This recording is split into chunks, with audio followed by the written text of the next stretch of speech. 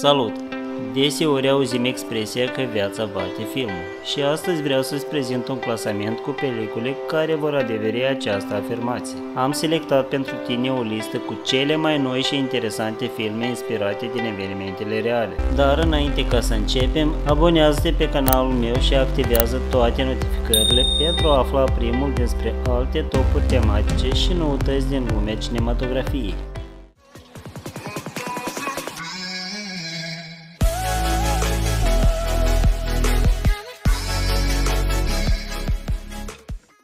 Richard Jewell este o dramă biografică regizată de Clint Eastwood, care povestește despre întâmplările ce au avut loc în timpul Jocurilor Olimpice din Atlanta din anul 1996. Richard Jewell este un ghinionist mediocru care nu găsește locul său sub soare. Este un simplu gardian, ce asigură ordinea la un concert dedicat Jocurilor Olimpice. La un moment dat, Jewell observă o geantă suspectă lăsată sub o bancă. Genistul chemat să cerceteze rucsacul sacul abandonat, găsește în interior trei bombe artizanale. Civilii aflați în preajmă sunt evacuați, însă bombele se declanșează, omorând două persoane și rănind alte câteva sute. Datorită reacției sale, care a salvat zeci de vieți, Richard devine eroul național. Însă agenții care cercetează această anchetă ajung la o concluzie stupefiantă. Analizând circumstanțele incendiului, se presupune că Jewel se încadrează perfect în profilul eroilor falși, care intenționat creează situații periculoase pentru ca tot ei să le soluționeze și să se manifeste drept salvatori și gardianul devine principalul suspect acuzat pentru comiterea acestui atac terorist.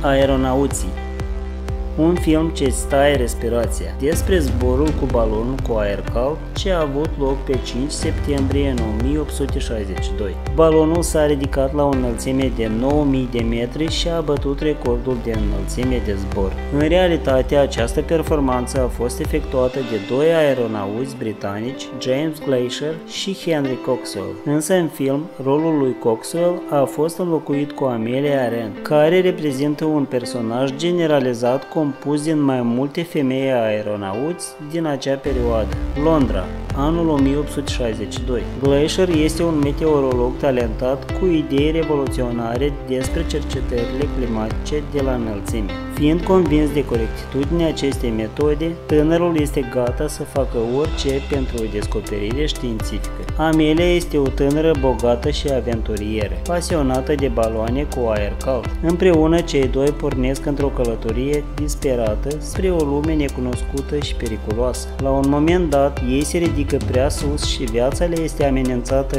nu doar de lipsa de oxigen, dar și de o furtună ce se îndreaptă spre balon. Ford vs Ferrari Marea provocare Le Mans 66 o ecranizare ce te va ține în suspans despre confruntarea legendarelor producători de automobile, Ferrari și Ford, dar și despre două personalități extraordinare, Ken Miles, pilotul de bolizi și inginer de mașini de curse, și Carol Shelby, la fel pilot de bolizi, însă faima mondială a obținut-o în calitate de constructor de mașini. Cele mai cunoscute modele create de acesta sunt Ford Mustang GT500 și GT 350, redenumite ulterior în Shelby Mustang. Principala intrigă a acestui film este celebra cursă de 24 de ore din Le Mans și dacă încă nu ai văzut această producție, sunt convins că sfârșitul nu va fi așa cum te aștepți. Anul 1963. Ferrari este liderul absolut în materie de producători de bolizi sportivi și an la rând ocupă primul loc la cea mai dificilă cursă de mașini. Compania Ford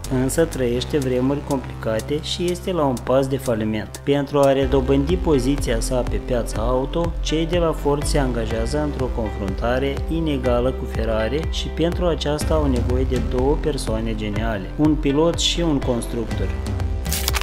Ape întunecate Ecranizarea istoriei despre litigiul dintre juristul Robert Pilot și corporația DuPont, una din cele mai mari companii din industria chimică din lume. Subiectul acestui proces judiciar a fost poluarea apelor din apropierea orașului Parkersburg. Robert Bilot este un jurist de succes. Într-o zi, fermierul Tennant, o veche cunoștință a bunicăi lui Robert, îl roagă pe acesta să investigheze cauzele deceselor inexplicabile a animalelor din orașul său. Fermierul crede că moartea animalelor este cauzată de o fabrică chimică din apropiere. Pentru a obține o imagine mai clară privind această situație, Bilot se deplasează în Parkerburg și solicită de la întreprinderea în cauză informații suplimentare suplimentare despre activitățile desfășurate, dorind să-l descurajeze pe juristul săcăitor și posibil să ascundă datele potențial periculoase, conducerea fabricii trimite acestuia sute de cutii cu diverse rapoarte. Din acestea, Bilot află că una din substanțele folosite la producere este extrem de toxică și poate avea consecințe periculoase pentru orice organism viu. Dar culmea, Folosirea acestei substanțe nici nu este reglementată prin nicio normă legală. Evadarea din Pretoria această producție a fost inspirată din romanul autobiografic al lui Tim Jenkins, de fapt unul din personajele acestei istorii. Africa de Sud, anul 1979.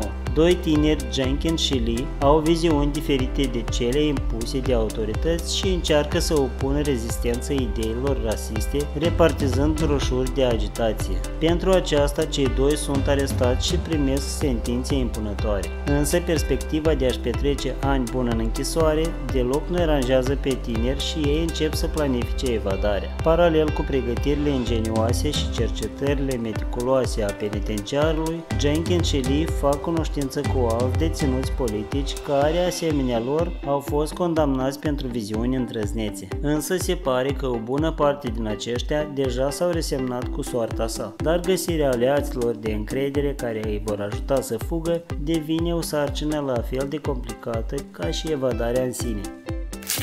Irlandezul, asasinul mafiei o producție semnată de Martin Scorsese, cu o distribuție pe măsură, și anume Al Pacino și Robert De Niro. Filmul a primit zeci de nominalizări la cele mai importante premii din cinematografie, inclusiv 10 nominalizări pentru Oscar, dintre care cel mai bun film, cel mai bun regizor și cel mai bun actor în rolul secundar. Filmul este inspirat din biografia lui Frank, irlandezul Sheeran, un șofer de camion care se transformă într-un asasin asociat asociat cu cei mai de vază gangsteri din Philadelphia a anilor 50 din secolul trecut. Evenimentele din film sunt prezentate ca niște amintiri din viața anterioară a unui bătrân dintr-un azil. Astfel, cândva de mult, el era un simplu șofer. Nu avea nimic comun cu mafia și credea că zugravii vopsesc pereți, până nu l-a întâlnit pe Bufalino, o autoritate mafiotă. Acesta a luat tânărul sub aripa sa și șoferul a început să îndeplinească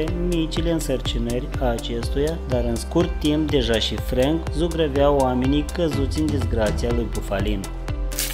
1917 Cred că o bună parte din cinefili a văzut deja această dramă de război. Totuși, deoarece este parțial inspirat din viața reală, este inclus în topul de astăzi. Istoria relatată în film a fost compusă din câteva întâmplări din viața veteranului primului război mondial, Alfred Mendes, bunicul regizorului acestei pelicule. Ca și irlandezul, 1917 a primit 10 nominalizări pentru premiul Oscar, dintre care a luat 3. Anul 1917, armata germană părăsește pozițiile sale din nordul Franței și trupele britanice încep să creadă că au învins inamicul, cel puțin în această parte a frontului. Însă recunoașterea aeriană aduce vești proaste. De fapt, retragerea a fost o mișcare strategică pusă la cale pentru a duce în eroare ofițerii britanici, dar germanii doar și-au schimbat poziția pentru a nimici cu artilerie una din trupele britanice. Deoarece liniile telefonice sunt distruse,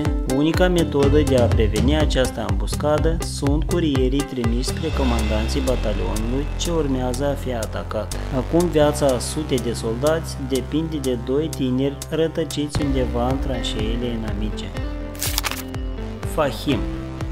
O istorie impresionantă despre Fahim Mohammad, campionul mondial de juniori la șah. Spectatorii au caracterizat această peliculă franceză ca fiind una sensibilă și profundă, potrivită pentru a fi vizionată împreună cu adolescenți. Fiind copil la începutul anilor 2000, Fahim împreună cu tatăl său a fost nevoit să părăsească Bangladeshul și să caute refugiu în Franța. Însă solicitarea de azil politic este respinsă și cei doi devin migranți ilegali. Între timp, Fahim face cunoștință cu unul din cei mai buni antrenori de șah din Franța și începe să perfecționeze această abilitate. Și chiar dacă antrenorul este renumit pentru caracterul său insuportabil, peste o perioadă dificilă, Fahim reușește să găsească limbă comună cu el și relația care inițial a fost complicată se transformă într-o prietenie sinceră. Fiind amenințat de explozare, Fahim totuși se pregătește de campionatul de tineret și nici nu bănuiește că victoria sa îi poate ajuta să se legalizeze în Franța.